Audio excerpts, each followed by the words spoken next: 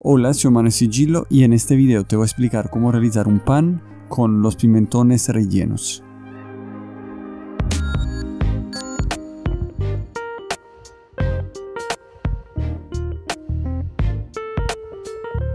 Bueno, empezamos nuestra receta. Aquí tenemos nuestros pimentones rellenos de atún. Son muy ricos, muy interesantes. Nosotros estamos utilizando para un pan. Le agregamos un condimento de ajo y perejil, eh, levadura, tenemos aceite de estos pimentones y después una mezcla de 80-20, 800 gramos de harina blanca y 200 gramos de multigrano para darle un gusto interesante. Es una harina de media fuerza, estamos haciendo un proceso directo, o sea, un proceso en 2-3 horas ya tenemos el producto listo.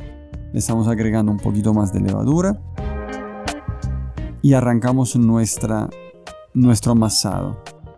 4 minutos en primera velocidad. Vamos a mezclar bien los ingredientes.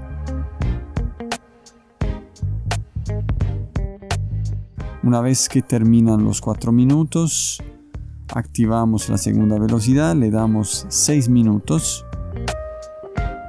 Vamos dando estructura a esta masa. Verificamos la textura y la estructura del gluten, todavía le falta, entonces esperamos unos minutos más. Después de pocos minutos, cuando ya tenemos una malla de gluten mucho más firme, mucho más compacta, empezamos a añadirle en 2-3 tandas la cantidad de aceite. El aceite me da una estructura interesante al producto y además es un aceite aromatizado con estos pimentones. Le agregamos los últimos dos minutos, un minuto, los pimentones cortados. Son pimentones muy especiales, muy interesantes, que le aportan mucho sabor a, esta, a este pan.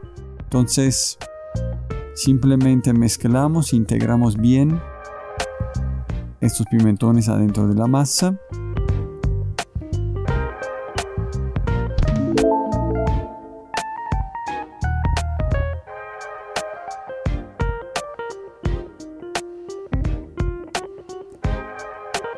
Y una vez que terminamos el amasado, simplemente sacamos la masa de la amasadora, le damos unos pliegues para darle un poco más de tensión a la masa.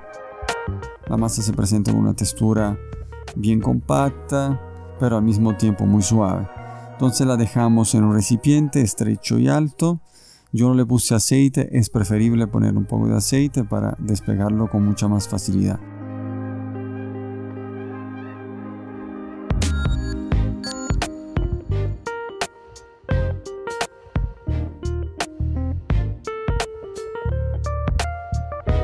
Entonces una vez que tenemos las piezas listas, piezas de 300-350 gramos.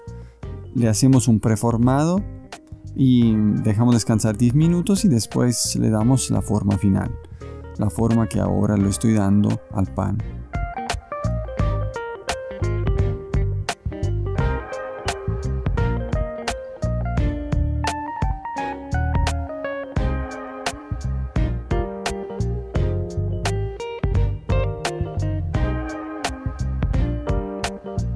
Con esta forma podemos realizar un pan de barra, podemos cortar el pan y realizar de pronto formas más creativas.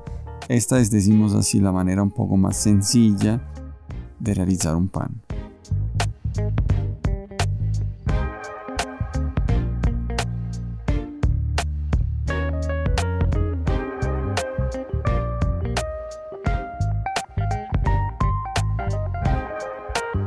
Bueno, le damos la correcta tensión.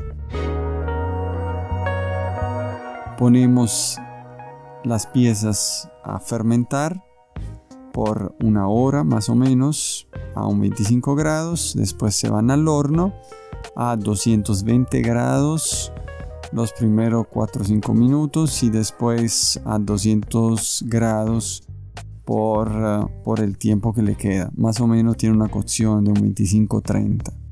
Entonces ese es el producto terminado. Un producto con un sabor muy interesante, un producto crujiente, una alternativa para hacer un sándwich muy interesante. Te invito a suscribirte a mi canal y si te ha gustado el video me deja un buen like y nosotros nos vemos en el próximo. Chao.